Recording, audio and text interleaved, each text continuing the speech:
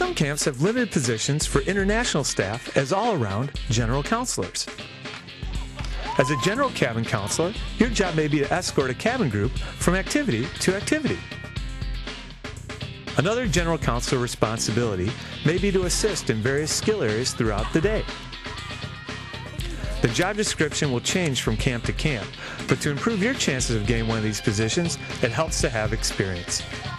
Speak with a CCUSA representative or check out our website to learn more about sought after skills. What can you do?